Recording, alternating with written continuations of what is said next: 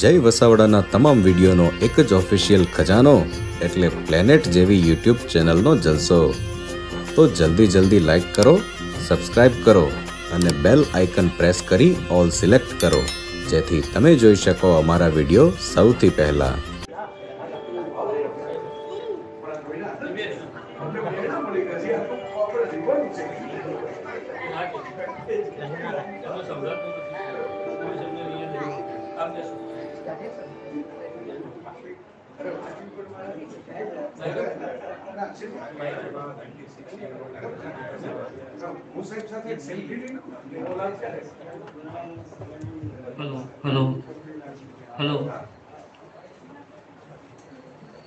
ગ્રંથના, પંથના, આ નવ્વાણુંમાં અને આપણને સૌને વધારે ઉત્સાહ આપે એવી સવારમાં આપ સૌનું અને આપ સૌ વતી, આપણા સૌ વતી, નગર નડિયાદ વતી, જય વસાવડાઓનું આપણે હાર્દિક સ્વાગત કરીએ છીએ. આપ સૌ જાણો છો તેમ આજે સવારે તો થોડી ચિંતા હતી. કુદરતે પહેલા કંઈ ચિંતા કરાવી અને પછી કૃપા કરી, હું વિચારતો હતો કે શું થશે. અને તરત મારા મને દિવ્ય જવાબ આપ્યો કે જ્યાં જય હોય ત્યાં પરાજય ન હોય. આપણી વચ્ચે આજે પ્રશ્નોત્તરી વગર વ્યાખ્યાન આપવા માટે શ્રી જય વસાવડા ઉપસ્થિત છે. આપણે સૌ એમને વધાવીએ અને એમને જ વાત કરવાની વિનંતી કરીએ. શ્રી જય વસાવડા. વરસાદ પડે ને એટલે ડકવર્થ લુઈસનો નિયમ લાગુ પડે. એટલે પહેલા અમ્પાયરોએ પીત નિરીક્ષણ કરીને એવું નક્કી કર્યું કે આપણે દસ વાગે શરૂ કરશું. અને પછી પ્રશ્નોત્તરી કાપીને ઓવરો ઘટાડી. પણ મેચ રમાશે. એની ચિંતા કરવા જેવી નથી. અને મેં તો ફેસબુક ઉપર સ્ટેટસ પણ મૂકેલું. વરસાદ પડતો હતો હું જ્યાં હતો ત્યાં. તો મેં જોયું. પછી અસિતભાઈને ફોન કર્યો. મેં કીધું, શું લાગે છે? મને કે, આપણે રાહ જોઈએ થોડી. એટલે મને એમ થયું કે આ શેરલોક હોમ્સની આપણે વાત કરવાના છીએ ને, એટલે બ્રિટનનું વેધર આપણે ત્યાં આવી ગયું છે નડિયાદ આ ઇંગ્લેન્ડમાં યાજ્ઞિક સાહેબને તમે પૂછો, એક જમાનામાં એવું કહેવાતું કે ભાઈ બે માણસો બ્રિટિશ મળે લંડનની અંદર, એટલે પહેલા વેધરના સમાચાર એકબીજાને પૂછે. કારણ કે અનસર્ટેન વેધર હોય સવારે સુરત નીકળેલો હોય ને બપોરે એકદમ ધાબુ થઈ જાય અંધારું. એવું થઈ જાય. એટલે આ બ્રિટિશ વેધર જે છે એ આપણે નડિયાદની અંદર ખાસ શર્લોક હોમ્સના સન્માનની અંદર આજે દાખલ છે કે અચાનક વરસાદ પડે ને અચાનક રહી જાય. તમે બધા લંડન વાસીઓ પણ છો નડિયાદ વાસીઓની સાથે. ડ્યુઅલ સિટીઝનશિપ છે આજના દિવસે. બીજી વાત એ પણ છે કે શેરલોક હોમ્સમાં સસ્પેન્સ તો હોય ને. છેલ્લે શું થશે? વોટ નેક્સ્ટ વર્ષાબેન અડાલજાએ એમની એક સસ્પેન્સ નવલકથા ગુણવંતરાય આચાર્ય કેટલીક રહસ્ય કથાઓ પણ લખેલી. એ ડૉક્ટર જોહરીનું પાત્ર લઈને વર્ષાબેને પણ બે ત્રણ લખી. એમાં એક જગ્યાએ એવું લખ્યું છે એમણે કે ભાઈ, દુનિયાની દરેક કથા આમ તો રહસ્ય કથા જ છે. કારણ કે હવે શું થવાનું છે એ તો તમે આપણે વર્ષાબેનને જે તો તંતુ છે એ દોર સાંધીને કહું તો એકતા કપૂરની સિરિયલમાં આપણને એ જ છે ને. હવે શું થશે? પેલો એપિસોડ છેલ્લે આમ આવે ત્યારે એક હુક આપે. આ બધા વેબ સિરીઝ વાળા શીખી ગયા છે. તમને એમ થાય કે ભાઈ રાતના સુઈ જવું છે બે એપિસોડ જોઈને સુઈ જશું પણ તમે ચાર એપિસોડ જોઈને સુવો કે છ એપિસોડ જોઈને કાં તો આખી સિઝન પૂરી કરી નાખો. મારે પોતાને સ્કેમ જ્યારે આવ્યું હતું પ્રતિક ગાંધી વાળું તો ત્યારે તો કઈ ખબર નહોતી કે શું છે કેવું છે હજી નવું નવું આવ્યું હતું. પ્રતિક ગાંધીએ મને મેસેજ કર્યો કે ભાઈ આ જોજો હો તમે ખાસ તમે ભલે બાકીનું કઈ જુઓ કે ન જુઓ. એટલે એના મેસેજ ખાતર મેં તો શરૂ કર્યું કે આપણે પ્રતિકને બે એપિસોડ જોઈએ અને એમ જવાબ દઈ દઈએ જોયું હો યુધિષ્ઠિર વેળા કરવા માટે. નરોવા કુંજરોવા જેવા. અને એકચ્યુઅલી પછી પેલું સસ્પેન્સ તો હું કેવો હતો દરેક એપિસોડમાં સ્કેમના કે મેં આખી રાત જાગીને પૂરું જ કરી નાખ્યું. સિંગલ ડે માં પછી પ્રતિકને મેસેજ કર્યો જો ભાઈ હું તો બે એપિસોડ જોઈને સુઈ જવાનો હતો, પણ મેં આખી રાત સિરિયલ જોઈ છે એટલે આમાં બીજું કંઈ કહેવા પણ નથી. એવું સસ્પેન્સની મજા છે થ્રિલની મજા છે. કે તમને આવતીકાલે હવે શું થવાનું છે, હવે શું થવાનું છે? એ સતત ખેંચાઈ રહીને અને શેરલોક હોમ્સનું પાત્ર જે છે એવી રીતે જ સર્જન. હું સામાન્ય રીતે તમને ખબર છે, જે લોકો જૂના જોગીઓ છે અમારા કે પુસ્તક હાથમાં લઈ, એમાંથી પેસેજીસ વાંચતો જાઉં, મને શું શું ગમ્યું એ કહેતો જાઉં, પણ ડકવર્થ લુઈસમાં આજે એ પણ કપાઈ ગયું છે. એટલે તમે જોયું હશે કે આપણે શેરલોક હોમ્સનું પુસ્તક હાથમાં નથી રાખ્યું, જે સામાન્ય રીતે આપણે શિરસા મુજબ રાખતા હોય. અને એમાં હું બધું સાઇટેશન કરીને આવતો હોઉં ડાયલક્ષ્મીમાં આવું ને એટલે મારી જવાબદારી વધી જાય. હું એક તો મને ગમતા પુસ્તક પસંદ કરું, એમાં હું જેટલો રસ નીચોવી શકાય એટલો નીચોવવાનું હોમવર્ક કરું અને મને તો આનંદ છે કે નવ્વાણું વ્યાખ્યાન છે મારું. બે નવડાવાળું વ્યાખ્યાન ડાયલક્ષ્મીની અંદર મારા નસીબમાં લખાયેલું છે. અને આના પછી સીધી સેન્ચુરી શરૂ થશે શતાબ્દી વ્યાખ્યાન થશે. અહીં લગભગ મારા ગમતા કેટલાક પ્રિય પુસ્તકો ઉપર. કારણ કે આ મને આખા ગુજરાતમાં ડાયલક્ષ્મી સિવાય કોઈ બોલવાની તક જ નથી આપી મને હેરી પોટર ઉપર બોલવું હોય શેરલોક હોમ્સ ઉપર બોલવું હોય, આ બધા કથાઓ ઉપર બોલવું હોય તો કોણ મને તક આપે? એ આ હસીતમ મધુરમ લખાયેલું છે ને, મહાપ્રભુજી એટલે કે ભાઈ હસીતમ મધુરમ રાખવું બરોબર? તો એ એમની પેલી છે. અને આટલું કહીને મારે વાત તો એ કરવી છે. વરસાદની મોસમ છે એટલે ખાસ તમારા માટે શોધીને લઈ બે વર્ષ પહેલા મારા વરસાદના લેખમાં શેરલોક હોમ્સની એક નાનકડી વાર્તા, એની ટૂંકી વાર્તાઓ છપ્પન, આર્થર કોનન ડોયલે લખેલી. અને નવલકથાઓ ચાર, આટલી કૃતિઓ ડોયલની. પણ તમને બધાને ખ્યાલ ન હોય તો કહી દઉં Guinness book of world records મુજબ સૌથી વધારે જે પાત્રની ટીવીમાં, નાટકમાં ફિલ્મોમાં સૌથી વધારે જેનું એડેપ્ટેશન થયું હોય એ શેરલોક હોમ્સ આખી દુનિયામાં લિટરરી કેરેક્ટર જેટલા બન્યા એટલા પચીસ હજારનો સ્કોર તો ઓગણીસો ને પંચાણુંમાં હતો. અસિતભાઈ, કઈ વાંધો નહીં. આપણે ચાલશે. ગમતી વાત કરતી વખતે ગરમી નહીં લાગે. તમારે લેવું હોય તો મને વાંધો નથી. એલિમેન્ટરી માય ડિયર વોટસન એવું છે તો શેરલોક હોમ્સ એ રીતે પણ બહુ યુનિક છે. લાઇબ્રેરીની દ્રષ્ટિએ આપણે જોઈએ તો એક એવા પાત્ર વિશે આપણે વાત કરવા જઈ રહ્યા છીએ કે જે ગિનનેસ બુક ઓફ વર્લ્ડ રેકોર્ડમાં અવિજિત રેકોર્ડ ધરાવે છે અને નજીકનો પણ કોઈ કન્ટેન્ડર નથી. કારણ કે નાઇન્ટી ફાઇવમાં જ્યારે એન્ટ્રી થઈ ને ત્યારે મેં કહ્યું એમ પચીસ હજાર હતા. સ્કોર પછી તો આખી બીબીસીની સિરીઝ આવી ગઈ શેરલોક એના પછી તો ફિલ્મો આવી ગઈ શેરલોક હોમ્સ ઉપર. પછી તો વૃદ્ધ શેરલોક હોમ્સ બતાવતી મિસ્ટર હોમ્સ નામની ફિલ્મ આવી. યંગ શેરલોક હોમ્સ બતાવતી ફિલ્મ આવી. શેરલોક હોમ્સને વોટસનની કોમેડી ફિલ્મ આવી. બધી, અને આપણે હવે તો મેં હમણાં ફેસબુક ઉપર સ્ટેટસ મૂકેલું કે કે મેનનને સાઇન કરીને અહીં ભારતની અંદર પણ બનાવવામાં આવી રહી છે શેરલોકની સિરીઝ હિન્દીમાં. અને બે હજાર તેરમાં વળી કુદરતી રીતે મને મેનનનું એક રહસ્ય નામનું મૂવી આવેલું, જેમાં એને ઇન્સ્પેક્ટરનો રોલ કરેલો. એ જોઈને એવું લાગેલું કે આ માણસ શેરલોક કમ્સ થઈ શકે એમ છે. એના જે મેનરિઝમ્સ છે. તો મેં ત્યારે લખેલું. એટલે મેં તો સ્ક્રીનશોટ પાડીને મૂક્યો કે ભાઈ આપણે, અરે બાબા ભાગેશ્વર ધામ જેવી સિદ્ધિઓ નથી ધરાવતી. પણ આટલી ઓલી પરખ લાગે છે કે આ માણસ આ કરી શકે એમ છે. તો આ રહસ્ય છે ને, જો બાબાજીમાં બધાને રસ શું કામ પડે છે આખા ગુજરાતમાં? મારું શું થશે? હું કોણ છું? એમ કે મારા મારા જીવનમાં શું બન્યું છે? એટલે આમ કાગળમાંથી લખીને આપણને સંભળાવેલા પણ એમ થાય "વાહ, આ સરસ. બસ એટલે જ શેરલોક હોમ્સ અમર માણસને આ બધી વસ્તુઓ જાણવી બહુ ગમે છે. તમે એમ મને ખબર જ છે કે મેં દસ વર્ષ પહેલાં શું કર્યું હતું પણ તમને ખબર નથી ને તમે બોલી જાઓ કે દસ વર્ષ પહેલાં તમે આમ કર્યું હતું? તમને એમ થાય કે ઓહો આ શેરલોક હોમ્સની જાદુ છે. પણ જે વ્યક્તિ એવું કે હું આ ખાસ ટી શર્ટ ખાસ એના માટે શોધું આ મારી પાસે શેરલોક હોમ્સનું ટી શર્ટ છે, પણ બહુ જૂનું થઈ ગયું. આ ખાલી લાઇબ્રેરીના પ્રતિક તરીકે બુક આવી ગઈ હાથમાં. મેં તો હું ગાડી મૂકીને આવતો રહ્યો કે ભાઈ આજે હવે આપણી પાસે સમય નથી બુકમાંથી વાંચવાનો. આપણે વાતો જ કરશું સીધી. તો તમે વિચાર કરો કે શેરલોક હોમ્સ આ એટલા માટે ટી શર્ટ આ તો સાયન્સ મ્યુઝિયમમાંથી ન્યુયોર્કમાંથી લીધેલું ટી શર્ટ છે. આ શેરલોક હોમ્સ મ્યુઝિયમનું નથી. પણ એના જૂના થઈ ગયા બહુ પહેરાયા. તો શેરલોક હોમ્સની કથામાં એક જગ્યાએ પાત્રના માધ્યમે લેખક આર્થર કોનન ડોયલ એવું કહે છે કે I am brain and rest of my body is appendix હું દિમાગ છું, બાકી બધું તો વધારાનું છે. એટલે આપણે દિમાગ લઈને આવ્યા, પણ એવો હોમ્સ છે. આ વરસાદ પડ્યો છે, અત્યારે નડિયાદની અંદર આપણે ભેગા થયા. એટલે આ મેં ખાસ મેં કીધું સવારના પહોરમાં જ સંશોધન કરીને શોધી કાઢ્યું. મારા જ લેખમાં હતું. નેવલ ટ્રીટી નામની એક વાર્તાની અંદર શેરલોક હોમ્સ તપાસ કરવા જાય છે. અને શેરલોક હોમ્સનું કેરેક્ટર કોલ્ડ છે.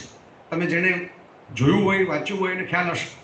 Is not romantically involve with anyone એક ખાલી એક ઇરિન એડલર નામનું એક કેરેક્ટર છે કે જેની સાથે એને જરા એમ સ્પાર્ક થયો છે એટલા માટે કે ઈ છોકરી એને હરાવી ગઈ. હંમેશા માણસને પ્રેમ એની સાથે જ થતો હોય છે જેને પરાજિત કરી નાખે. પુરુષ હોય તો પણ ભલે અને સ્ત્રી હોય તો પણ ભલે. એટલે પછી શેરલોક હોમ્સે વોટસનને છેલ્લે એ કથા પૂરી થયા પછી એટલું જ કીધું કે વુમન બસ આટલું જ. વુમન એટલે વોટસનભાઈ સમજી ગયા કે ભાઈ આના આનાથી વધારે શેરલોક હોમ્સ પણ કરી શકે એમ નથી. બીજી એક કથામાં હોમ્સે એવું કહ્યું છે કે ભાઈ સ્ત્રીનું મન છે ને એ રેતી ઉપર બનાવેલા કિલ્લા જેવું છે, એટલે કેટલું ટકે કેટલું નહીં, નક્કી ન કહેવાય, એટલે હું આ બાબતમાં ખાતરીપૂર્વક આગાહી કરતો નથી. હું ક્રાઇમની બાબતમાં તમને આગાહી કરીને કહી દઉં કે કોણે શું કર્યું છે? પણ સ્ત્રીના મનમાં શું ચાલે છે એ બાબતમાં હું આગાહી કરવામાં માનતો નથી. આવો હોમ્સ આ હું તમને ભૂમિકા એટલે બાંધું છું કે એ રીતે કોલ્ડ, ડ્રાય કેરેક્ટર છે. જે રોમાન્સ ન કરે, જે લોજિક સિવાયની વાતમાં રસ ન લે. એમ કે જ છે કે ભાઈ, crime is common, logic is rare. ગુનાખોરી તો માણસ જાતના ઉદ્ભવથી છે. પણ રેશનલ માઇન્ડથી લોજિકથી એને ચકાસવી એ રેર છે. હવે ઘટના એવી છે કે કથાની અંદર હોમ્સ તપાસ કરવા માટે ખોવાયેલું ડોક્યુમેન્ટ શોધવા માટે જાય છે.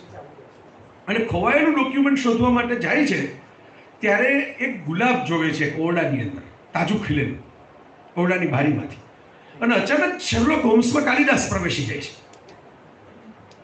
કે એ જે કેવી સરસ વાત કરે છે. વોટ એ લવિંગ થિંગ ઇઝ રોઝ હવે ખરેખર હોમ્સને તો પક્ષીની આંખ દેમ અર્જુનને દેખાતી હતી એમ માત્ર ડિટેક્શનમાં જ રસ હોય ક્રાઇમના એને બદલે ગુલામ ઉપર શરૂ કરી અને પછી જે રમણલાલ સોનીએ જે અનુવાદ કર્યો છે, ઉત્તમ અનુવાદ. એક સમયના આપણા બહુ સારસ્વત અને યાજ્ઞિક સાહેબની જેમ દીર્ઘાયુષ્યની દીક્ષા પ્રાપ્ત કરેલી. છેક સુધી એક્ટિવ રહ્યા સાહેબની જેમ જ. અને એમણે શેરલોક હોમ્સને ગુજરાતીમાં પહેલી વખત આપ્યો. પછી તો બીજા લોકોએ પણ અનુવાદ કર્યા. સમગ્ર અનુવાદો પણ થયા. અલગ અલગ અનુવાદકોના પણ રમણલાલ સોનીના અનુવાદમાં મજા શું છે? લ્યુસીડ છે. પ્રાસાદિક અનુવાદ છે. એકદમ તમામ સહજ, સણસણાટ. શીરાની જેમ ગળે ઉતરી જાય શીરા એવા કે પાછો કાજુ બદામ વગરનો. એટલે ચાવવું ન પડે. તો આગળ કહે છે, નકામી ચીજોની બાદબાકી કરવી એ મારો ધર્મ છે. જે કટ ધ અંગ્રેજીમાં કહેવાય. ફાલતુ વાતો બંધ કરો. તર્કશાસ્ત્રની નિષ્ઠુર તલવારનું વિજ્ઞાન છે. તર્કશાસ્ત્રની તલવાર નિષ્ઠુર હોય. ભગવદ્ ગીતા તો જો મેં ધ્યાનથી વાંચી હોય તો એની અંદર કૃષ્ણ કાલોક્ષ્મી લોકક્ષય પ્રવૃત્ત કરીને જે વર્ણન કરે પછી અર્જુન થોડી વાર ડરી જાય છે. કે આ તો આપણે તો ભગવાનને બહુ દિવ્ય સ્વરૂપમાં અને વરદ સ્વરૂપમાં જોયા છે અને આ તો દાઢના ચવાણા તરીકે બધાને ચાવી જતા હોય એવું સ્વરૂપ કેમ બતાવે છે? પણ તર્કની તલવાર નિષ્ઠુર છે. એમાં કોઈ મમત્વને સ્થાન નથી. ભારતીય સંસ્કૃતિને જો આપણે બરાબર સમજાવવું હોય તો આપણા ઋષિઓએ આ તર્કની ચલવાર સાંખ્યમાં બહુ ચલાવી છે. તો શર્લોક આગળ એમ કહે છે કે આપણું જે શુભદત્વ છે ને આ ફૂલ છે. તર્ક તો નિષ્ઠુર છે ફૂલ શુભ છે. બધી જ વસ્તુઓ, શક્તિઓ, ઈચ્છાઓ, ખાણીપીણી એ બધું તો આપણું અસ્તિત્વ ટકાવવાની લડાઈ છે. જીવવું છે એટલે ખાવું પડે. જીવવું છે એટલે પાણી પીવું પડે. જીવવું છે એટલે ગાડીમાં બેસવું પડે. જીવવું છે એટલે પંખો ચલાવવો પડે. આ તો અસ્તિત્વ ટકાવવા માટે છે. પણ this rose is an extra from the nature પણ આ ગુલાબ છે ને એ ભગવાને એક્સ્ટ્રા આપ્યું છે આપણને. આ અસ્તિત્વ ટકાવવા માટે નથી. એનો રંગ, એની સુગંધ, આ ગુલામ જીવનની શરત નથી, પણ જીવનની શોભા છે. એટલે વધારાનું નથી, કારણ કે એમાં ઉત્સવની આશા અને આનંદ છે. Hope and pleasure for the celebration Arthur Conan ડોયલે Holmes જેવા માણસના મોઢેથી જે વાત મુકાવી ને, એ આ વરસાદી વાતાવરણમાં આપણને અહેસાસ થાય. આપણને એમ થાય કે કીચડ થઈ ગયો, કાર્યક્રમ મોડો થયો થોડુંક આમ તેમ થઈ ગયું થોડુંક કટ કરવું પડ્યું. પણ એની સામે આજે આજે ઠંડી હવાની લેરખી આવે અથવા તો આમ તમે બારીમાંથી સવારે ઉઠો અને વાદળો ઘેરાયેલા હોય વરસાદ તમે પડતો જુઓ, તો એ એક્સ્ટ્રા છે આપણા જીવનની અંદર. તમારા ઘરમાં પાણી તો પાઇપલાઇનમાંથી આવે છે, વરસાદમાંથી સીધું નથી આવતું. પણ એ હોપ એન્ડ પ્લેઝર આપે છે તમને. નેચરની કેટલીક બ્યુટી જે છે, એ હોપ એન્ડ પ્લેઝર આપે છે. તો રહસ્ય જે છે ને, એ કુદરતમાં પણ છે. તમે વિચાર કરો, એક વૃક્ષ તમે જુઓ તો એ થોડું રહસ્યમય લાગે, કારણ કે અનિયમિત આકાર હોય. પાંદડાઓ તમે ગોઠવી ન શકો. બિલ્ડિંગ રહસ્યમય ન લાગે, કારણ કે તમે નિયમિત ચોકઠામાં ગોઠવી શકો કે આ પાંચ બેડરૂમનું મકાન છે. કુદરતે ઘણી બધી વસ્તુઓ રહસ્યમય બનાવી છે. આકાશના તારાઓ ગણી નથી શકાતા એટલે તો સસ્પેન્સફુલ લાગે છે. એટલે તો આકાશ જોવું ગમે. જે દિવસે ગણાઈ જાય ને બધા તારા, પછી આકાશ જોવાની મજા નહીં આવે. ગણ્યા ગણાય નહીં, વીણ્યા વીણાય નહીં છાબડીમાં માય નહીં, એટલા માટે જ આપણને આકાશ જોવું ગમે છે. શેરલોક હોમ્સ તો એક જોક છે. એ તો આર્થર કોર્ડન ડોલ ગુજરી ગયા પછી લખાયેલો છે હોમ્સને વોટસન બે કેમ્પિંગ કરવા ગયા. મિત્રો વોટસન ડોક્ટર હોમ્સ ડિટેક્ટિવ બંને સાથે ફરવા માટે ગયા અને તંબુ બંબુ નાખ્યો એક સરસ મજાની જગ્યાએ. બધું ગોઠવી અને હોમ્સની જે ટેવ હતી, જાતે જ બધું કરવું એ કેમેસ્ટ્રી બાયોલોજી બધાનો નિષ્ણાત માણસ. તો એમાં સૂતા રાત્રે ત્રણ વાગે અચાનક વોટસનને ઢંઢોળીને હોમ્સે ઉઠાડ્યો દોસ્ત, શું દેખાય છે તમે વોટસનને થયું કે આજે હવે ચાન્સ છે હોમ્સને ઇમ્પ્રેસ કરી દેવા દર વખતે હું ભેગો રહીને એની ખાલી વાર્તાઓ લેખે રાખું. એના કરતાં આજે બતાવી દઉં હું શીખી ગયો છું હવે. ઓબ્ઝર્વેશનનો પાવર કેવો હોય? નિરીક્ષણ શક્તિ કોને કહેવાય? એટલે કે આકાશની અંદર તારાઓ છે, હવામાન સ્વચ્છ છે, આ નક્ષત્રોની જે દિશા છે એ જોઈને એવું લાગે છે કે આપણે આ મહિનાની આ દિશામાં આવેલા છે અક્ષાંશ રેખાંશ આટલું હજી બોલતો હતો આકાશ દર્શન કરતો કરતો હોમ્સ અરે, વોટસન, ત્યાં હોમ્સે એને કહ્યું કે ભાઈ, આપણો તંબુ કોક ચોરી ગયું. આપણે તો તંબુમાં સૂતા હતા. આ આકાશ ક્યાંથી થઈ ગયું ખુલ્લું? આ તો બહુ આગળ વધી ગયો ડિટેક્શન કરતા કરતા આપણે તો આયા હોવાનું હતું પેલા તંબુ કે પછી આકાશના દર્શનની વાત જીવનનું પણ આવું જ છે ઘણી વખત આપણે બીજી બધી બાબતોમાં એટલા વ્યસ્ત હોય છે કે આપણો મૂળ તંબુ જ ચોરાઈ ગયો છે એ આપણને ખ્યાલ નથી આવતો તો જ્યાંથી આ કથાની શરૂઆત થઈ doctor Arthur Conan Doyle sir Arthur Conan Doyle પછી તો નાઇટહુડની ઉપાધિ એમને મળી અને આર્થર કોનન ડોય ડોક્ટર હતા હવે આ ઇન્ટરેસ્ટિંગલી તમે ઓબ્ઝર્વ કરો, હમણાં આપણે બધા કોરોનામાંથી પસાર થયા છીએ. તમે વિચાર કરજો ડૉક્ટર તરીકે તમને એમ લાગે કે સસ્પેન્સ કથા એક ડૉક્ટરે લખી, આજની તરીકે ઘણા લોકોને લાગે છે. આપણા ગુજરાતના ઘણા બધા ડૉક્ટરો કવિઓ છે.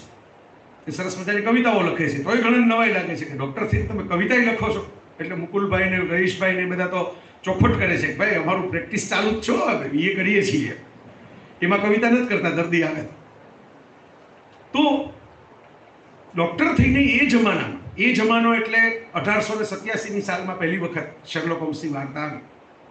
તો આર્થર કોનન ડોયલ તો ત્યારે ખાસા યુવાન હતા. એની આયુષ્યની પછી ત્રીસીનો દાયકો શરૂ નહોતો થયો. ત્યારે એમણે લખી, એટલે બધાએ કીધું, ડૉક્ટર થઈને વાર્તા લખે છે. હવે જ્યારે એડિનબરો યુનિવર્સિટીમાં ભણવા ગયા, ત્યારે એમના બે પ્રોફેસર હતા. એક હેનરી લિટલમેન અને બીજા, જેના ઉપરથી એમણે હોમ્સે આખું પાત્ર લેખન ગયું એ ડૉક્ટર જોસેફ બેલ.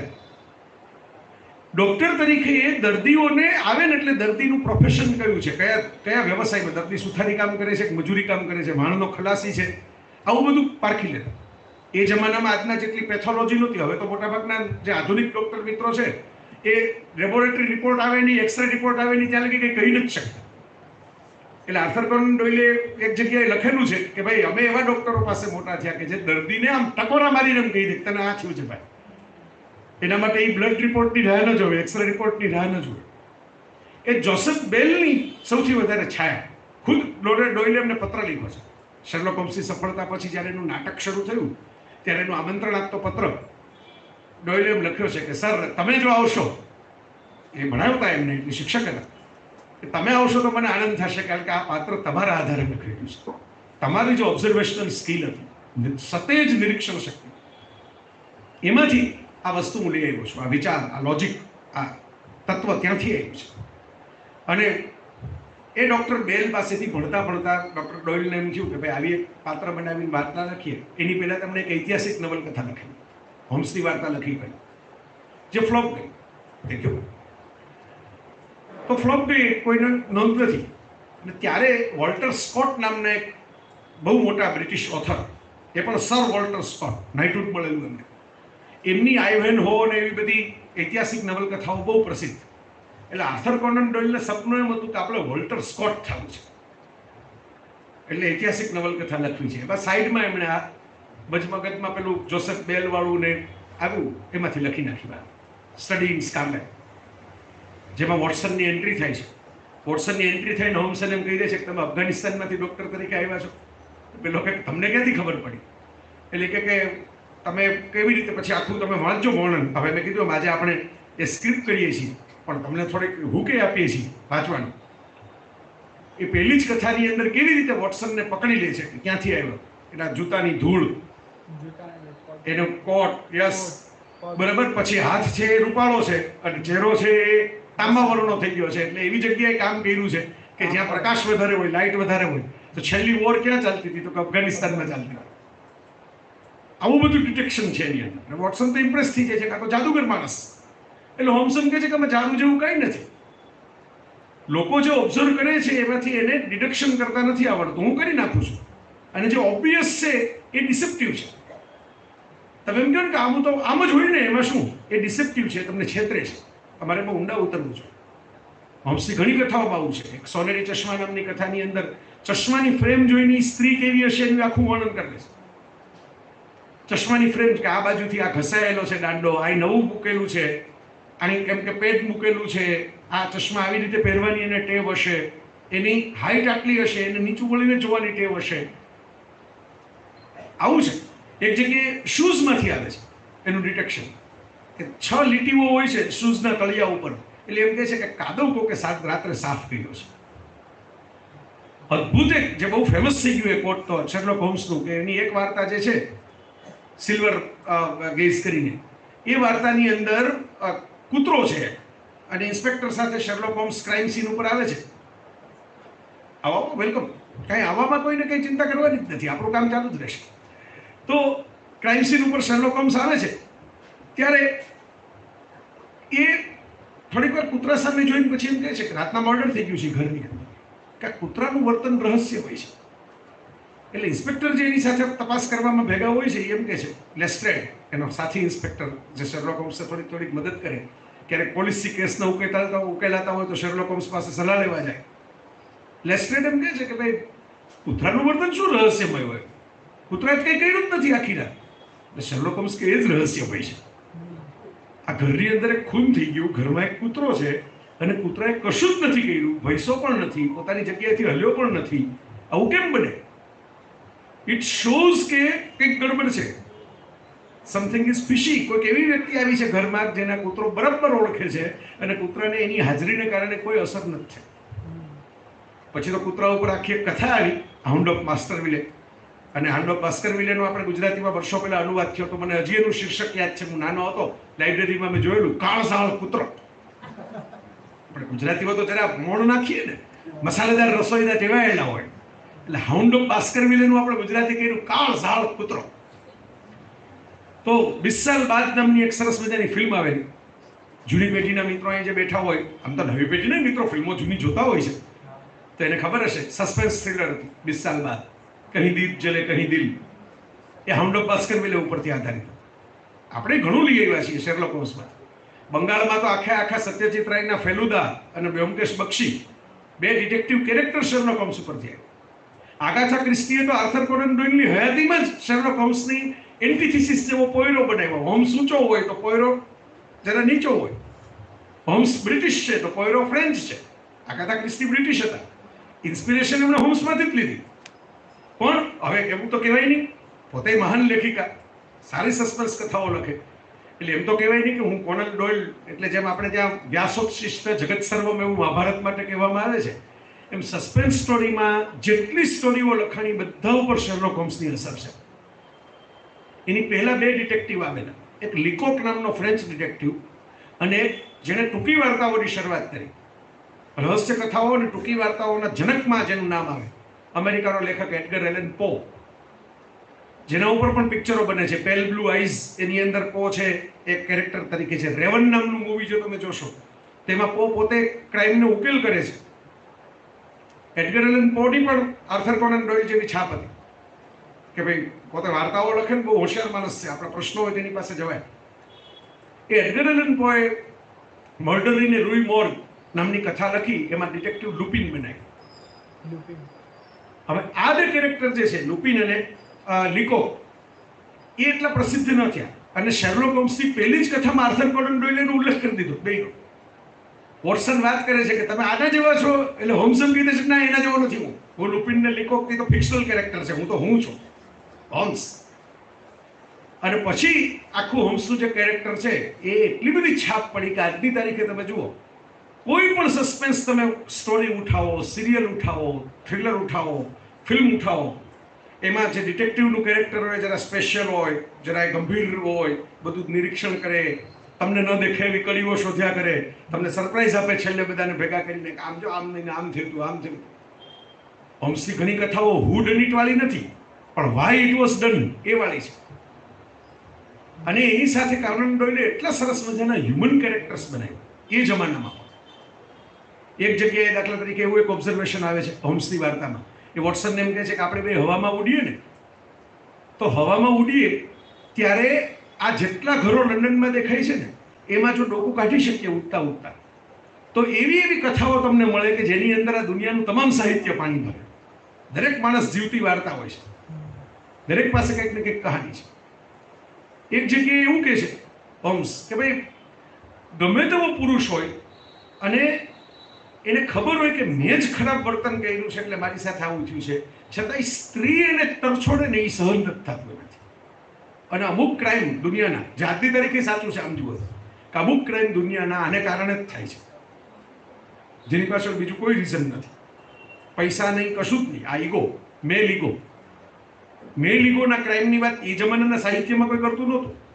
આપણે વાત કરીએ છીએ ઓગણીસમી સદી. તમે વિચાર કરો, ત્યારે આ વાત નહોતી થતી. ત્યારે હજી આટલું બધું કંઈ આપણે જોઈએ છીએ એટલું મનોવિજ્ઞાન પણ વિકસેલું નહોતું. હજી સિગમન ફ્લોઇડની કથાઓ પુસ્તકોને આવવાને વાર હતી. ત્યારે કોનન ડોયલે આ કર્યું? ડોક્ટર હતા. હવે તમે આમ કોરોનાના સમય યાદ કરો, બહુ જૂનો નથી થયો. તો તમને ખ્યાલ આવશે કે ડૉક્ટર અને ડિટેક્ટિવમાં ઝાઝો ફરક હોતો નથી. બે શરૂઆત છે, હંમેશા કોકને કોક બોડીથી કરવી પડે, શરીરથી કરવી પડે.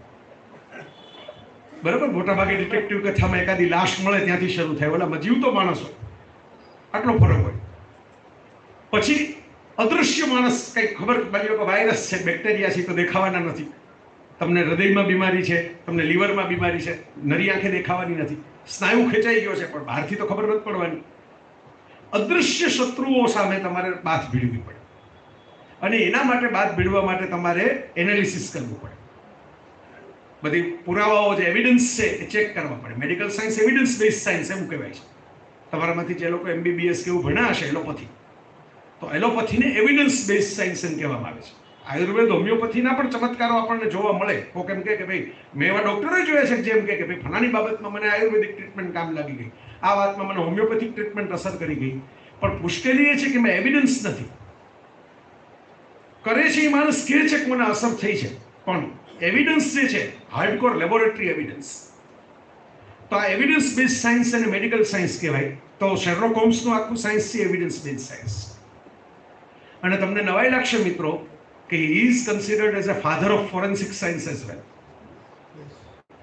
fingerprint જૂતાની છાપ, એક વાર્તાની અંદર સિગરેટની એસ્ટ્રે છે, એની રાખ આવા આવા કરી નાખે છે, વાત કરતા કરતા. એટલે પછી રાતના જે ત્યાં છાપ પડે, એના આધારે નક્કી કરે છે કે કોણ એ. આપણે જે સીએસઆઈ ક્રાઇમ સીન ઇન્વેસ્ટિગેશનની સિરિયલો જોઈએ છીએ ને, અત્યારે ખૂબ છલકાઈ રહી છે અલગ અલગ ભાષાઓની. એ સીએસઆઈનું સાયન્સ જે છે, એ શેરલોક હોમ્સના માધ્યમે પહેલાં ફિક્શનલ થયું, પછી એકચ્યુઅલ થયું.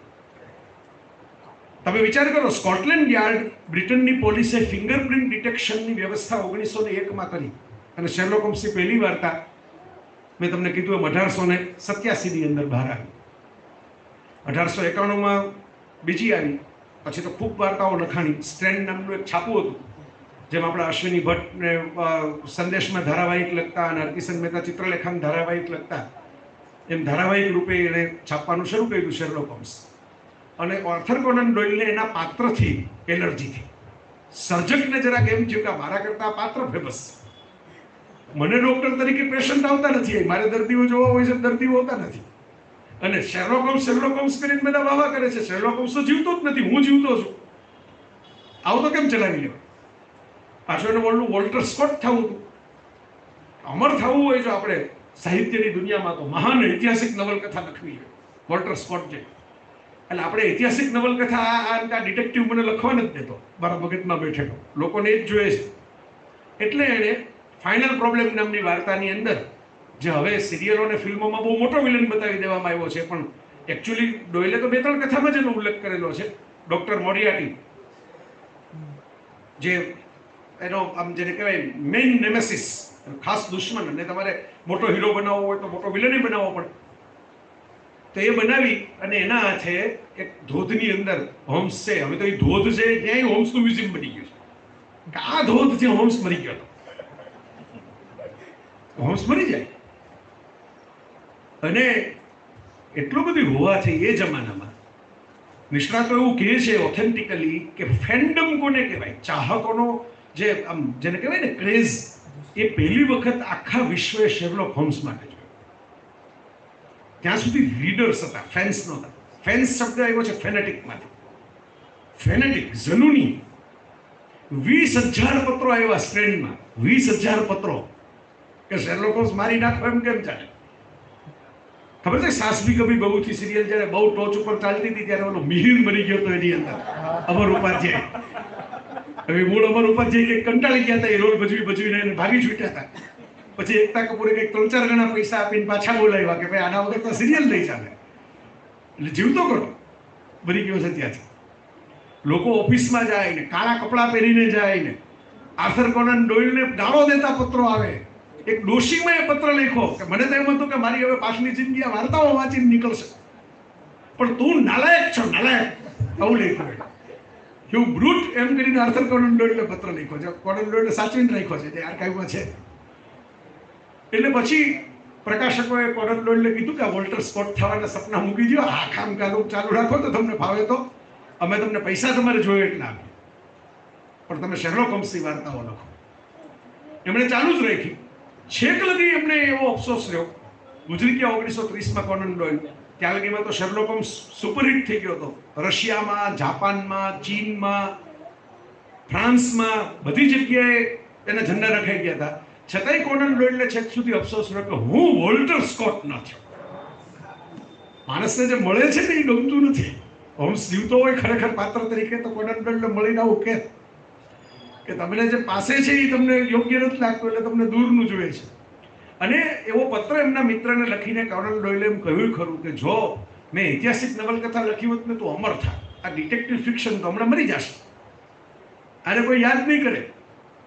આ તો આપણી ભાષામાં લુપ્તી લિટરેચર છે, ફૂટપાથ ઉપર વેચાય પણ બોલું તો મને નોબેલ પ્રાઇઝ મળે, મને કંઈક મોટું ઇનામ મળ્યું હોત. લોકો મને યાદ કરત કે કેવા મહાન લેખક છે આ ધરતી ઉપર. હાલત એવી છે કે વોલ્ટર સ્કોટને કોઈ યાદ નથી કરતું. કોનન ડોઇલ તો જીવે જ છે. કારણ કે શેરલોક હોમ્સ તો અમરપાત્ર છે. બીબીસીએ જે છેલ્લી બેનેડિક્ટ કમ્બરબેચને લઈને જે સિરીઝ બનાવી એ તો એટલી બધી હિટ ગઈ એટલી બધી હિટ ગઈ એની ચાર તો સિઝન આવી ગઈ. પછી તો પેલી ઇનોલા હોમ્સ હવે તો શેરલોક હોમ્સની બેન ને શેરલોક હોમ્સની માં ને શેરલોક હોમ્સના ભાઈ ને શેરલોક હોમ્સના બાપુજી ને બધા એક પછી એક આવવા માંડ્યા છે. ઇનોલા હોમ્સ અને શેરલોક હોમ્સની બેન. બરાબર? તો પાત્રો આખે કે નવા નવા એનો ભાઈ તો ખુદ આર્થર કોનન ડોઇલે બતાવેલો માઇક્રોફ્ટ જે સાત વર્ષ મોટો છે એનાથી. અને યાજ્ઞિક સાહેબની જેમ ગવર્મેન્ટ સર્વિસમાં છે. સિવિલ સર્વિસમાં અને સિવિલ સર્વિસમાં એવા હોદ્દા ઉપર છે કે એને તમામ પ્રકારની અમુક સત્તાઓ મળેલી હોય અને ખાનગી ડોક્યુમેન્ટ્સ એને પાસે પસાર થાય. અને એમ કહે છે કે મને આ ક્રાઇમ બ્રાન્ચમાં રસ નથી. હું તો સાંજે ક્લબમાં જઈને બેસું. તો હોમ્સ જ્યારે અટવાય ત્યારે પછી મોટા ભાઈની સલાહ લેવા માટે જાય. તો આવા પાત્રો બનાવેલા આર્થર કોનન ડોઇલે પણ એમને છેક સુધી, મર્યા સુધી એવું રહ્યું કે હું અમર નહીં થાઉં. એકચ્યુઅલી શર્લોક હોમ્સના કારણે અમર થયા. જે ડિટેક્ટિવ કથા એમને એમ લાગતી હતી કે વહેલી મરી જશે. એ કથા મરી જ નહીં. કારણ કે એટલું સજ્જડ પાત્ર લેખન હતું ને વાર્તાઓ એટલી સરસ હતી, એટલી ગ્રીપિંગ તમે આ રમણલાલ સોનીવાળા પાંચ ભાગ વાંચશો. એમણે નવલકથાઓના અનુવાદ નથી કર્યા. છપ્પન ટૂંકી વાર્તાઓમાંથી બેતાલીસ પસંદ કરી અને અનુવાદ કર્યા છે. પણ વાંચશો શરૂઆત માટે બરાબર છે. પછી તો મેં કીધું એમ, બીજા અનુવાદો પણ ઉપલબ્ધ છે મોટી મોટી કથાઓને. અને અનુવાદમાં ન જવું હોય એટલે સીધું જ તમે વાંચો તો કે એટલું બધું અટપટું અંગ્રેજી નથી. એમણે સામાન્ય વાચકોને ધ્યાનમાં રાખીને આ સિરીઝ લખેલી. પણ એની મજા જે છે ને, એ ખાલી એવું નથી કે ક્રાઇમ થઈ ગયો. એ તો કથાઓ બહુ બધા લેખકો લખે છે. પણ શેરલોક હોમ્સનું જે વાતાવરણ બનાવવામાં આવે છે ક્રાઇમની સાથે એક હ્યુમન સ્ટોરી હોય છે. એક સ્ત્રી ઓપેરા સિંગર હોય અને એને એક પ્રિન્સ જે છે પસંદ ન કરતો હોય છે. ઇરિન એડલર વાળી જે કથા ત્યાંથી શરૂ થાય છે. જે શેરલોક હોમ્સની એકમાત્ર પ્રેમિકા ગણાય છે. અને જેનો ફોટો શેરલોક હોમ્સે સાચવીને રાખ્યો છે સ્ત્રી તો જતી રહે છે. તો એ ઓપેરા સિંગર છે, રાજા એના પ્રેમમાં છે, વિદ્યાર્થી તરીકે. પણ રાજા થઈ ગયા પછી એમ કહે છે કે ઓપેરા સિંગર સાથે લગ્ન ન કરાય. હું તો રાજા છું. આ તો અમારી તોહિન છે અમારે ખાનદાનની. એ વાત શેરલોક હોમ્સે લીધી છે એની અંદર, હળવેકથી. એટલે સોશિયલ કોમેન્ટ્રી પણ છે. અમુક અમુક જગ્યાએ અમુક અમુક પાત્રોને જે અન્યાય થાય છે, એની કોમેન્ટ્રી છે. અમુક તો બહુ ઇન્ટરેસ્ટિંગ છે. હું પોતે, હું ઘણી વાર કહું છું કે મને ફેક ન્યૂઝની ખબર વહેલી પડી જાય, ઘણા લોકો કે, તમને કેમ ખબર પડી જાય? આ ફેક છે મેસેજ એમ તો તમે દિવ્ય ભાસ્કર ગુજરાત સમાચાર, સંદેશ, એમ ચાર પાંચ છાપાઓ રાખો તો તમને ફોન્ટ જોઈને કહી દઉં કયા છાપાનું પાનું છે. ઉપર છાપાનું નામ લખેલું ન હોય. આ બધું એવું છે શેરલો હોમ્સ વાંચતા વાંચતા બચપણમાં. કે ભાઈ, તમારું નિરીક્ષણ એટલું રાખવાનું, તમને ખ્યાલ આવવો જોઈએ. બરાબર? તમે આમ અમુક માણસો અમુક રીતે વર્તન કરે એટલે તમને ખ્યાલ આવી જાય કે આ ભાઈ પ્રેમમાં પડેલા છે. ભલે બોલે નહીં. બરાબર? પણ જે રીતે ઓનલાઈન રહે છે, એ સીધું લક્ષણ નથી. આ હોમ્સવેડા છે, જે આપણે કરીએ છીએ. તો આ શેરલોક હોમ્સની એક એવી ઇન્ટરેસ્ટિંગ કથા છે, લાલ માથાઓ વાળી મંડળી. રેડ હેડેડ ક્લબ જેમાં એક જાહેરાત આવે છાપામાં કે લાલ માથાવાળા માણસને નોકરી આપવામાં આવશે. માથામાં લાલ વાળ હોય ને એને. અને આવી વિચિત્ર જાહેરાત હોય છે એમાં એક વ્યક્તિ જે છે, એને બહુ નવાઈ લાગે છે અને એ શેરલોક હોમ્સનો સંપર્ક કરે છે કે એનો માથું લાલ છે, લાલ વાળવાળો છે. કે આવું શું કામ કોઈ કરે? મને પગારે આપે છે, કંઈ કામ તો છે નહીં, ખાલી કોપી કરવાનું કામ આપે છે. શેરલોક હોમ્સ બહુ બધું ગોતે છે વિચાર કરે છે, નાટો મારી આવે છે બે ચાર વખત પછી એમ કહે છે કે તમારું ઘર ક્યાં છે? તો કે આ જગ્યાએ છે. અને ત્યાં જઈને શેરલોક હોમ્સ કહે છે કે ભાઈ ઓકે તમને નોકરી એટલા માટે નથી આપવામાં આવી? માથું લાલ છે. અને એટલા માટે નથી આપવામાં આવી? નોકરી છે. તમને ચોક્કસ સમયે તમારા ઘરથી બહાર કાઢવાના છે. કારણ કે તમારા ઘરની પાછળ બેંક છે. અને તમારું ઘર ખાલી હોય એટલો સમયમાં નીચે ટનલ ખોદવામાં આવી રહી છે, બેંક લૂંટવા માટે. એના માટે તમે સોળ કલાક બહાર રહ્યો, બાર કલાક બહાર રહ્યો, તો જ આ કામ થાય. એટલે તમને એનો પગાર મળે છે, ઘરની બહાર રહેવાનો.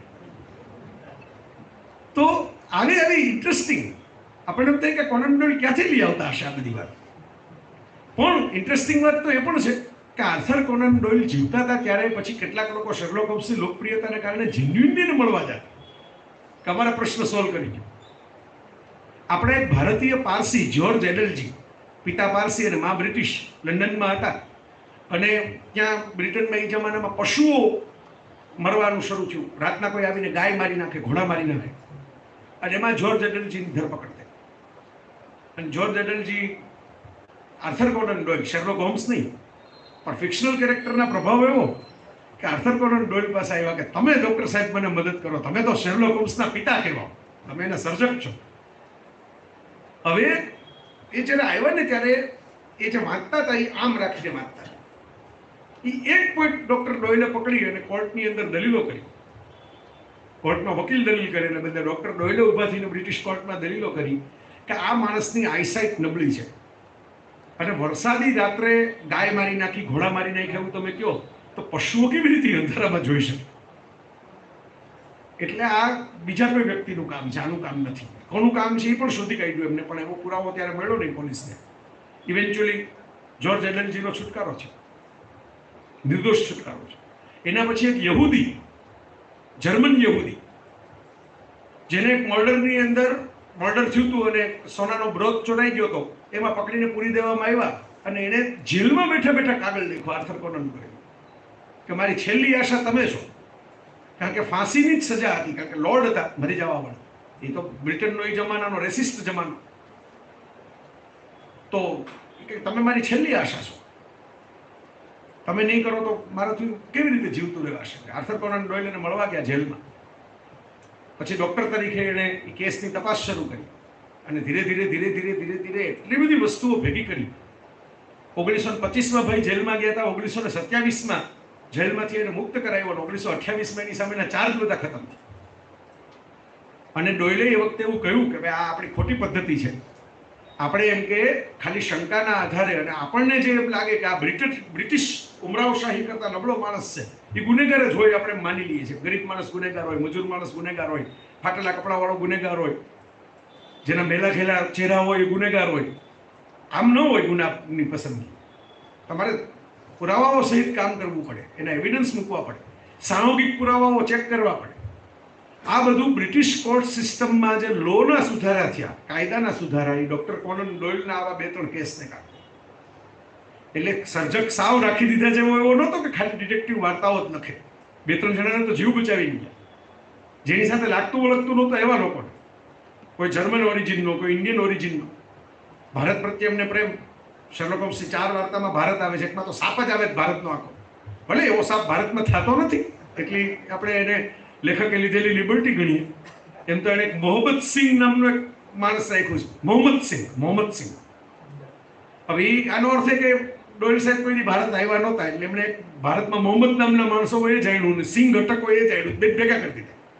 એટલે આવી હિન્દુ મુસ્લિમ યુનિટી પણ છે શેરલોક હોમ્સની વાર્તામાં. મોહમ્મદ સિંઘ. તો એક વાર્તા જે છે સાઇન ઓફ ફોર એ તો આખી ભારતમાં અઢારસો સત્તાવનનો આપણો સ્વાતંત્ર્ય સંગ્રામ. અને એમાં ખજાનો અને એની પછી આખી સર્જાતી ઘટના. એના ઉપર જ છે આખી. સાઇન ઓફ ફોરની કથા. એટલે ભારત આર્થર કોનન ડોયલને ફેસિનેટિંગ લાગે. અને પછી તો એટલા બધા લેખકોએ શેરલોક હોમ્સની વાર્તાઓ લખી. ફેન ફિક્શન જેને તમે કહો ફેન તરીકે લખી. કેવા કેવા લોકો? તમને જો ખ્યાલ હોય, થોડો રસ હોય તો ખ્યાલ હશે. આઇઝેક એસીમો સાયન્સ ફિક્શનની દુનિયામાં બહુ વજનદાર નામ ગણે. અને રોબોટ રોબોટ રોબોટ તમારે સાયન્સ ફિક્શન ફિલ્મમાં બતાવવો હોય તો પણ અને સાયન્સ ફિક્શન સ્ટોરીમાં બતાવવો હોય તો. તમે ગૂગલ કરજો આઇઝેક એસિમોવના રૂલ્સ ફોર રોબોટ તમામ લેખકોએ રૂલ ફોલો કરવા પડે. એ સાહિત્યનો મણલખ્યો કાયદો છે. કે તમે રોબોટ બતાવો તો આવી રીતે જ બતાવી શકો. એટલું વજનદાર નામ, સાયન્સ ફિક્શન. આ આઇઝેક એસિમોવે પોતે સંપાદન કર્યું, અલગ અલગ તોતિંગ કહેવાય. પછીના જમાનાના કોનન ડોયલ તો ક્યારના ગુજરી ગયા હતા? વીસમી સદીના અંત ભાગે સંપાદન બહાર આવ્યું શેરલોક હોમ્સની સ્ટોરીનું. એમાં એક વાર્તા પોતે એસીમોવે સાયન્સ ફિક્શન તરીકે ટાઈમ ટ્રાવેલ કરાવીને લખી હોમ્સ ને વોટસન ધ અલ્ટિમેટ ક્રાઇમ. અને બાકીના સત્તર લેખકો પાસે લખાવડાવી સંપાદક તરીકે આવો પ્રભાવ. બીજા સર્જકોને પણ પ્રભાવિત કરનાર. અને અલગ અલગ એક્ટરો તો આપણે જાણીએ જ છીએ. સૌથી વધારે જે એના રોલમાં ફેમસ છે એ શેરલોક હોમ્સની જે સિરિયલ આવતી, અંગ્રેજી સિરિયલ આ બેનેડિક્ટ કમ્બરબાચની પહેલા એટીઝની અંદર આવતી. એની અંદર જેરેમી બ્રેટ નામના એક એક્ટરે કામ કરેલું, જે માનસિક બીમાર હતા, પણ શેરલોક હોમ્સનું પાત્ર ભજવતી વખતે એકદમ સ્વસ્થ લાગતા. એ એમની થેરપી હતી. અને એ સૌથી વધારે ફેમસ છે. બાકી તો કેટલાય લોકો, Robert Downey junior Guy Ritchie British film maker એને શેરલોક હોમ્સની બે ફિલ્મો બનાવી. બધે વોટસન તો હોય, કારણ કે શેરલોક એક મજા આ પણ છે, એના અમરત્વનું એક કારણ આ છે. ફ્રેન્ડશિપ એક ફ્રેન્ડશિપનું એલિમેન્ટ છે, દોસ્તીનું એલિમેન્ટ છે. અને હોમ્સે એક વખત વોટસન એમ કહે છે જે હું પોતે ઘણી વાર કહેતો હોઉં છું, કે your greatest gift my dear friend is silence તું મૂંગો મિત્ર છે, એટલે મને બહુ ગમે છે. માથું ખાનારો મિત્ર નથી. ત્યારે ચૂપ અમારે ગોપાલ અમારી ભેગો હોય, તો મને બધા એમ કહે કે ભાઈ, અમે તમારી ગાડી હલાવીએ. હું કોઈ પોસાય નહીં મને. કારણ કે તમે મારું પ્રવચન ગાડીમાં જ કરાવી નાખો. અમારે ગોપાલ મૂંગો મૂંગો ગાડી ચલાવે એટલે અમારે ચાલે. તો આવું ઘણું આખું વિશ્વ મેં કીધું એમ શેરલોક હોમ્સની આસપાસ રચાણું. આપણે તો હજી આજની તારીખે ડિટેક્ટિવ ફિક્શનમાં મેં કીધું ને તમે લખવા બેસો એટલે તમારા બેક ઓફ ધ માઇન્ડમાં કંઈક શેરલોક હોમ્સ આવી જ જાય. છેલ્લે તમે એમ વિચારો કે આપણે શેરલોક હોમ્સ ડિટેક્ટિવ નથી બનાવો નથી બનાવો એમ કરીને પણ તમારે શેરલોક હોમ્સનો વિચાર કરવો જ પડે.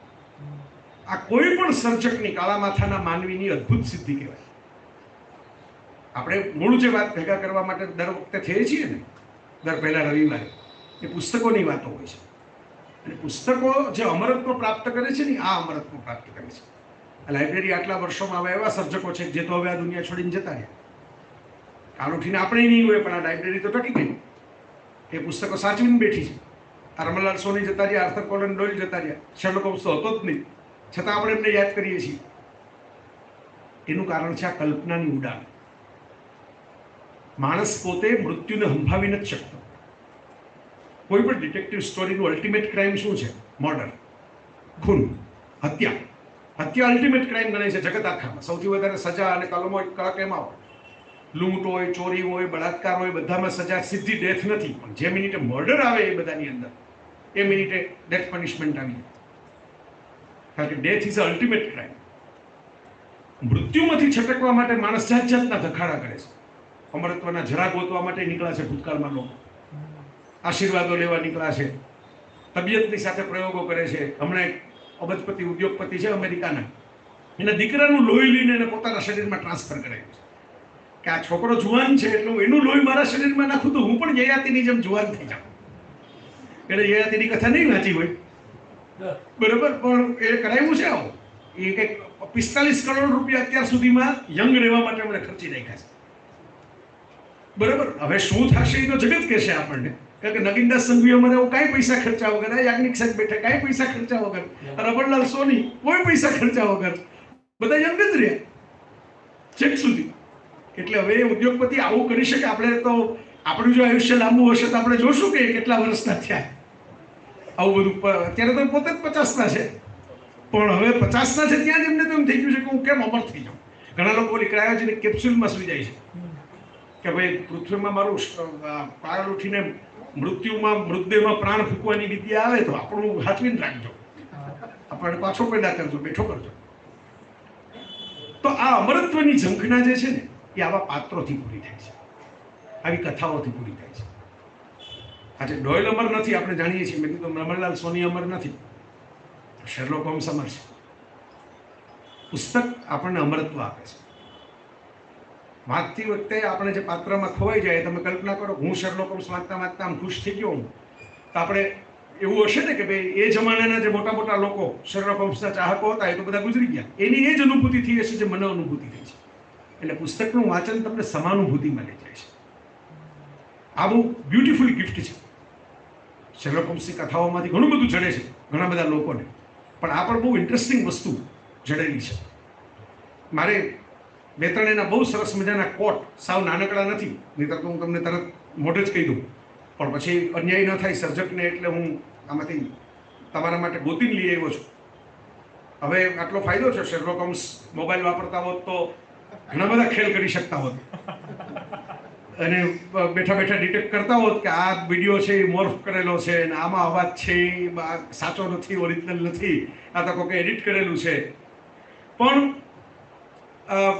એક એનું સરસ મજાનું કોટ હતું, જે ડૉક્ટર વોટસન લખે છે કે જ્યારે એને એક છડકો થાય છે ગોળીનો, ત્યારે હોમ્સ એની સામે જોઈને જે આંખથી જોવે છે કે મારા મિત્રને છડકો થયો અને ડૉક્ટર વોટસનના માધ્યમથી આર્થર કોનન ડોયલ લખે છે. અને હંમેશા યાદ રાખજો તમે ગમે એવું એક્શન થ્રિલર બનાવો, તમે ગમે એવું ડિટેક્ટિવ થ્રિલર બનાવો, તમે ગમે એવું ગમે એવું તમે જેને કહેવાય જાયજેન્ટિક હવે તો આજના જમાનામાં સ્પેશિયલ ઇફેક્ટ્સ વાળું બધું આવી ગયું છે, બાહુબલી ટાઈપ એ બનાવો. પણ eventually emotion will rule the heart લાગણી. આમાં વોટ્સન એવું કહે છે કે it was worth a wound મને જખમ થયો, પણ એ બહુ વસૂલ હતો, જખમ. To know the depth of loyalty and love which lay behind that cold mask ત્યારે હોમ્સના ચહેરા ઉપર જે ભાવ આવ્યા ને, એટલે મને ખબર પડી કે એના કોલ્ડ માસ્ક જે પહેરીને રાખે છે, ગંભીર હોવાનો, એની પાછળ પણ એક ધબકતું હૃદય છે, પ્રેમ છે, વફાદારી છે.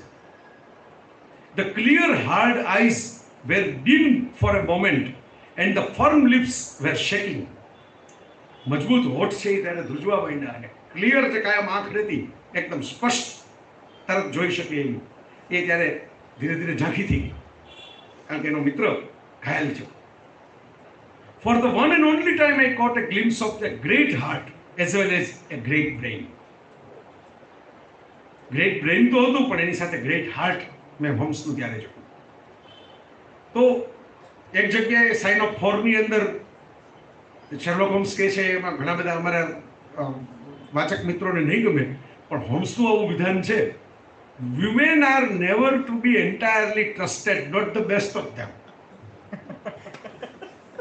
એટલે આ હોમ્સ કેમ પરણ્યો નહીં એનું સિક્રેટ આમાં છે આર્થર કોનન ડોયલ તો પહોંચી ગયા હતા બરોબર કે આ ભરોસો કરાવી આમાં બીક લાગતી હતી હોમ્સની આ માથાકૂટમાં પડીએ ને બાકીનું બધું આપણે ગમે એવા ક્રિમિનલ સામે લડી લઈએ પણ આમાં કેમ લડવું આમાં દલીલો કેમ કરવી કારણ કે આ આ અનુભવ તો મને હું તો પરણો નથી તોય થયા છે તમને સવારે કોઈ એમ કે સાંજે આપણે પિક્ચર જોવા જવાનું છે, એટલે આપણે એમ કે હા બરાબર છે ચાલો, પિક્ચરની ટિકિટ બિકિટ આપણે બુક કરાવીએ. સાંજે કે ના, પિક્ચર ક્યાં? આપણે વાત થઈ હતી હા, વાત થઈ હતી સવારે તો થઈ હતી બરોબર? તો કે ના ના, અત્યારે તો હવે કામ આવી ગયું. હવે તો આપણે એક્ઝોસ્ટ થઈ ગયા છીએ. ઓકે બંધ રાખીએ પિક્ચર જોવાનું પણ શું મોટી વાત છે. તો થોડી વાર પછી કે, બંધ શું કેમ રાખવું જોઈએ? અરે, પણ તો પછી ટિકિટ કેન્સલ કરી નાખીએ આપણે. હવે પાછી ટિકિટ લેવાની, નવેસરથી જઈએ. તો આવા અનુભવ મને થયા છે, એવા અમને ન થાય એવી આપણે પ્રાર્થના કરીએ. તો આવા ઘણા બધા જે કોર્સ છે, બધા તો તમારી સામે એક, ન લઈ જાઓ, પણ એક બહુ સરસ મજાની વાત છે કે હોમ્સની જે હું તમારી પાસે બે કોટ જે મારે મોટા લેવા છે ને, એમાં તમે કહું છું. એક એણે જે વાત લીધી માઇન્ડફુલનેસ આજે આપણે ચર્ચા કરીએ છીએ માઇન્ડફુલનેસ લોકો શિબિરોમાં જાય છે ખાસ ધ્યાન કરવા માટે. એ જમાનામાં હોમ્સે એવી વાત કરી કે તમારા મનને એક બાબતમાં એટલું જ ખૂપાડીને રાખો કે તમને બાકી આજુબાજુ શું થાય છે એનો અહેસાસ જ ન થાય. અને એક ક્ષણ તમારું મેડિટેશન છે. મેડિટેશન શબ્દ હોમસે વાપરો નથી. પણ આજે જે મેડિટેશનમાં ટ્રેનિંગ કરાવે છે આ જ કરાવે છે. છેલ્લી પાંચ મિનિટ આપણી પાસે છે. બરાબર? એટલે ક્રાઇમ સીનની ભાષાની અંદર કહો તો છેલ્લું રહસ્યોદ્ઘાટન જે કરવાનું હોય, એનો આ સમય છે. એક અદ્ભુત વાત એણે એવી કરી છે કે ભાઈ માણસો નકામી વાતોથી પોતાના મગજને એટલું બધું ભરી દે છે કે કામની વાતો એના મગજમાં રહેતી નથી. અને પછી આવું કહીને આર્થર કોનન ડોયલ હોમ્સના માધ્યમથી એમ કહે છે કે આ મગજ છે એ કંઈ કબાટ નથી. અને આ કંઈક ખુલતું નથી આમ આમ વિસ્તરતું નથી તમે ગમે એવો ડેટા ડમ્પ કરી દો અંદર. એટલે નકામો ડેટા ડમ્પ કરીને રાખશો તો કામની વાતોના નિરીક્ષણ ભૂલી જશો. જે આજના યુગમાં તો બહુ કામનું છે. આજે વાત એને જે કરી, અદ્ભુત કામની છે. અને એક એણે વાત કરી કે ભાઈ life is infinitely stranger than anything which a mind of man could invent માણસનું મન વિચારી શકે ને એના કરતાં જીવન વધારે રહસ્યમય છે. આજનું જેટલી ચર્ચા કરું છું, એ બધાની અંદર ઘણી બધી વાતો એવી છે ડિડક્શનની એણે થિયરી આપી છે કે ભાઈ તમારે ડિડક્શન કરવું હોય શું કરવું?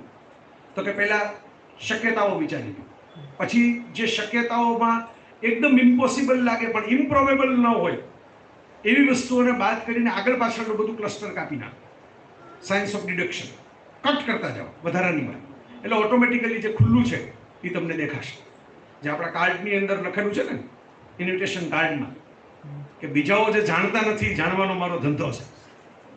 હું શું કામ કરું છું તો આ કામ કરું છું. ક્યારેક વાયોલિન વગાડે, ક્યારેક આ કરે. અને એની સાથે એક quote mediocrity knows nothing higher than itself but talent instantly recognise genius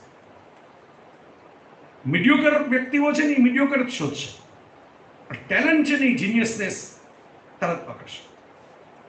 અને આજના આપણા સમાપનની દિશામાં આપણે જઈએ છીએ હોમ્સ કથાની. મેં હોમ્સની સાથે ઓનંડોલની સાથે ક્યાંય નહીં નથી કર્યો, મેં તમને કહ્યું વાર્તાઓના વર્ણનો આપણે કાઢી નહીં આપણી ઓવરો ઘટાડી, એવી રીતે ઘટાડી છે. એટલે પલ્પ રહી ગયો છે, છાલ ગોટલા આપણે સાઈડમાં મૂકી દીધા વધારે અને એ એમ માની લે કે એવા એવા લોકો બેઠા છે, અમુકને તો ઓળખું જ છું, સાજિદને, નંદિનીને, આ બધાને તો ચહેરાઓથી પરિચિત છું. એટલે એવા એવા લોકો બેઠા છે, જે લોકો તો આવું કહેશો, દિવ્યેશ બધા વાંચશે. આ એવા લોકો નથી જે ઘરે જઈને સુઈ જશે. એ આ પુસ્તકો લેશે, ખરીદશે, લાઇબ્રેરીમાં જશે. ઓનલાઈન પણ છે. શેરલોક હોમ્સ આખે આખો. હવે તો એના કોપીરાઇટ પૂરા થઈ ગયા. એટલે પ્રોજેક્ટ ગુટનબર્ગની સાઇટ ઉપર તમે જાશો તો આખે આખો શેરલોક હોમ્સ તમને ફ્રી વાંચવા મળશે અંગ્રેજીની અંદર. ટોટલ ફ્રી એટલે તમારે એવી ચિંતા કરવાની જરૂર નથી કેમ વાંચશો. વાંચશું કે કેમ? એ ચિંતા કરવાની જરૂર છે. કેમ વાંચશું એની ચિંતા નથી. તો આ કોર્ટ મને એમ લાગે છે કે ભાઈ ઘણા બધા કોર્ટ આમાં ભેગા કરીને રાખ્યા છે. એમાંથી આ કોર્ટ છે, એ સમાપન માટેનું શ્રેષ્ઠ કોર્ટ છે. આ મારું વ્યક્તિગત એવું છે કે આર્થર કોનન ડોયલને અને શેરલોક હોમ્સને આપણે જો ઉત્તમ અંજલિ આપી શકવું મેં કહ્યું એમ, સાગા કન્ટિન્યુઅસ શેરલોક હોમ્સ કભી મરતે નહીં. ઋષિકેશ મુખર્જીના આનંદ જેવું છે.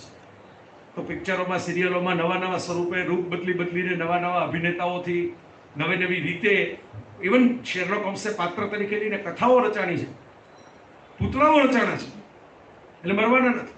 એટલી હતી કે બસો એકવીસ બી બેકર સ્ટ્રીટનું સરનામું તો એક સંસ્થા પાસે હતું, આખે ગ્રેજ્યુઅલી એ લોકોએ ટપાલો એટલી બધી આવતી થઈ ગઈ ત્યાં શેરલોક હોમ્સે કે કંટાળીને એમણે એમ કીધું કે આ મકાન રાખો.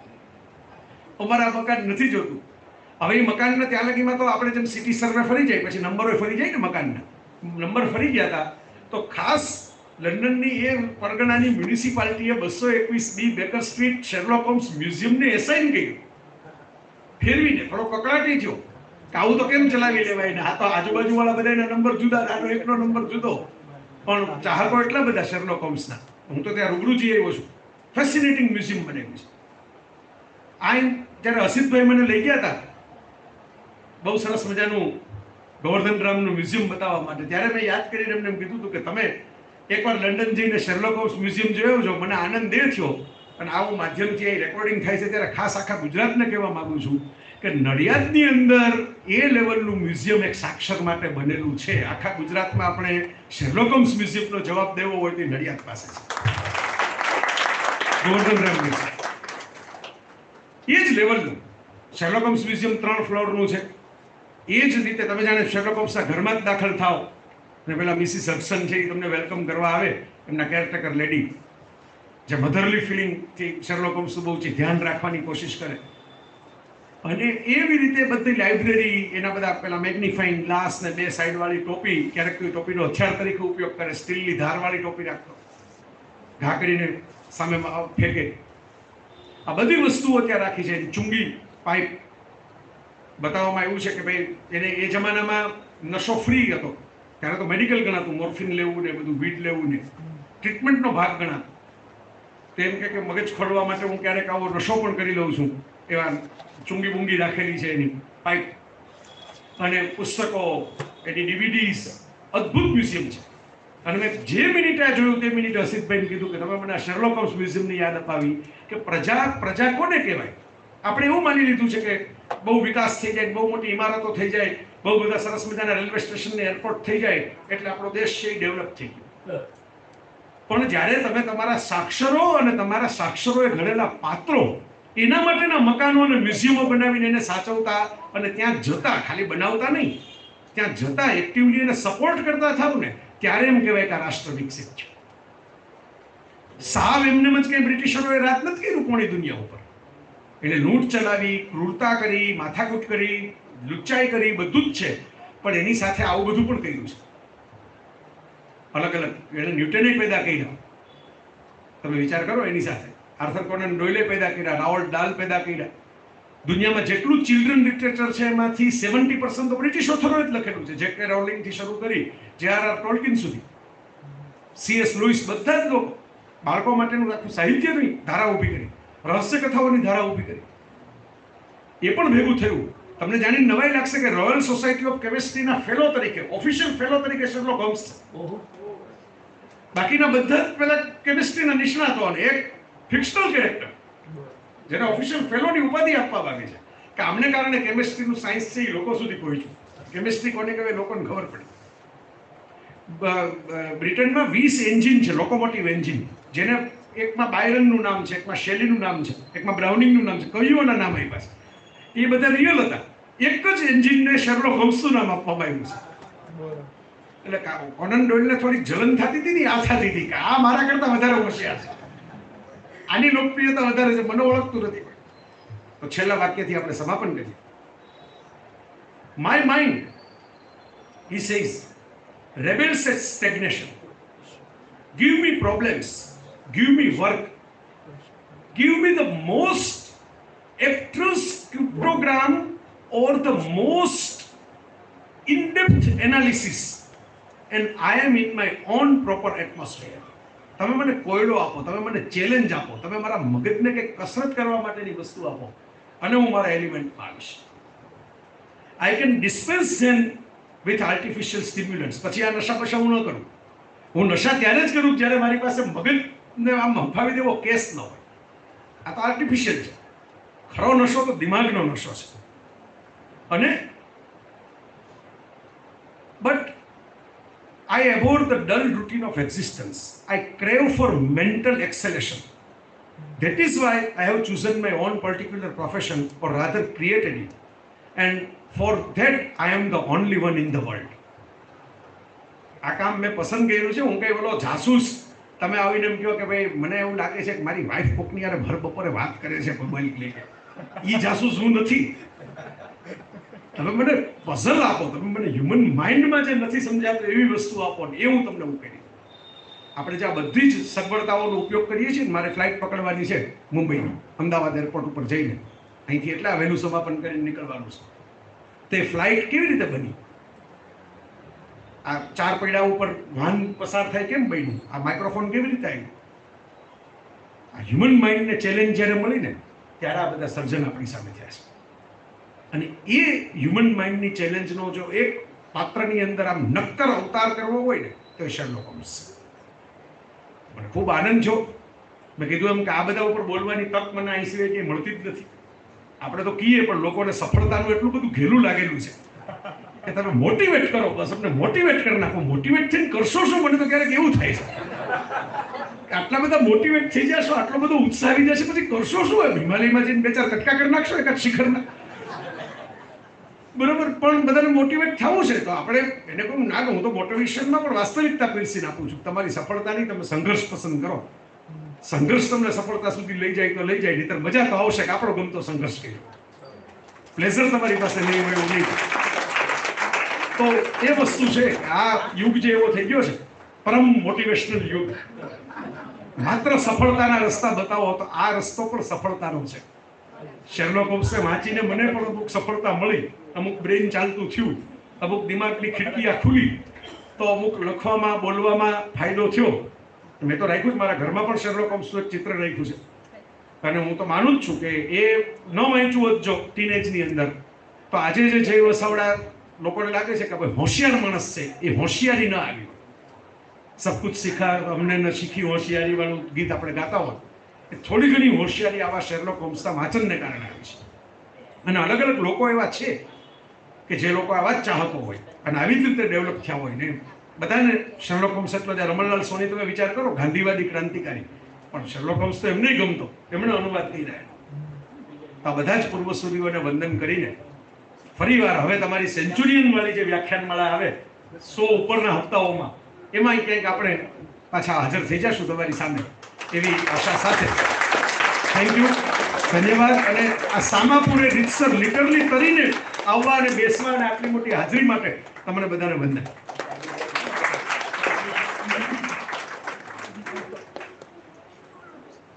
એકાદ મિનિટ માટે પણ તાળીઓ ચાલુ રાખીએ.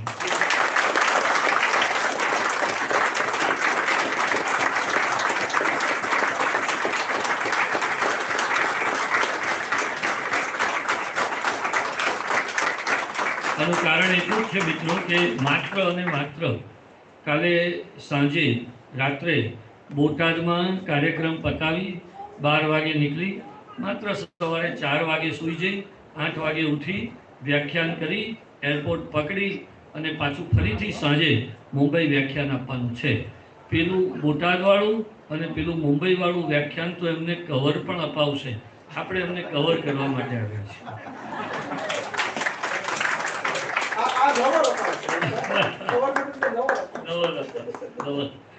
ત્રણ ખૂબ અગત્યની વાત ઝડપથી કે બહાર લાઈફલાઈન જીએસકે એમના બહુ જ, બંને જાણીતા પુસ્તકો લાઈફલાઈન તો એક તદ્દન નવું આવ્યું છે તે.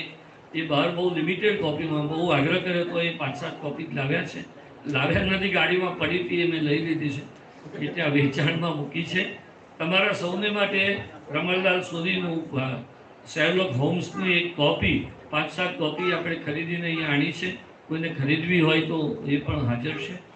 બહુ આનંદની વાત એ છે, જયભાઈને આપણે એ જાણીને મોકલીએ કે આપણી જોડે ગુજરાતમાં પણ એક શેરલોક હોમ્સવાળો તે ટોયલ છે. અને એનું નામ છે અઝીઝ અઝીઝના ઉપનામથી જેને નેવુંના દાયકામાં આપણા શેરલોક હોમ્સ સર્જ્યા ગુજરાતી અને એકસો ને પંચ્યાસી one eighty five I repeat એકસો ને પંચ્યાસી સસ્પેન્સ નવલકથાઓ લખી.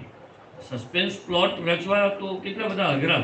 તો પણ એણે એકસો ને પંચ્યાસી સસ્પેન્સ નવલકથાઓ લખી. એ અઝીઝ ઉર્ફે બકુલ ત્રિપાઠીના સગા કાકા, ઉર્ફે ધનશંકર, હીરાશંકર ત્રિપાઠી, ઉર્ફે નડિયાદી, ઉર્ફે આજે જેની પુણ્યતિથિ છે તે. એને પણ આપણે આપણા નડિયાદી શહેરના હોમ્સને આજે આપણે સલામ કરીએ. પેલા પુસ્તકો અવચૂક લેતા જજો. બીજી તારીખે, આવતા મહિનાની બીજી તારીખે સોમા મણકામાં આખા ગુજરાતના સૌથી મોટા વક્તા આવવાના છે, સૌથી મોટા. બસ, એનું નામ બાકી રાખું છું. અને એ નડિયાદી છે. આપણે સૌ એમને સાંભળવા માટે રહસ્ય સાથે આજે રહસ્યનું વાતાવરણ છે. એને પકડી રાખીએ અને મળીએ. જયભાઈને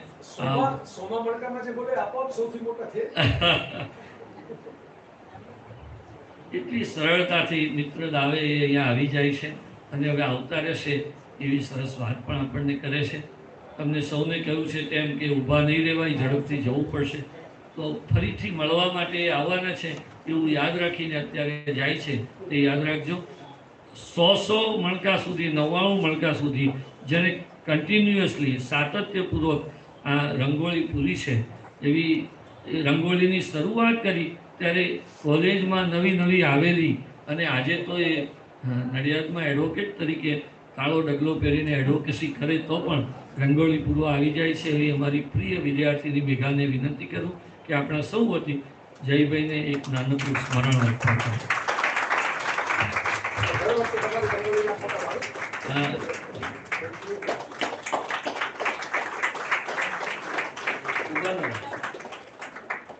ખૂબ ખૂબ આભાર આપ સૌનો. એમને ઝડપથી નીકળવાનું છે તે નીકળીએ છીએ. ફરી મળવા ચોક્કસ આવશે. Thank you thank you very much બીજી જુલાઈએ આપણે મળીશું.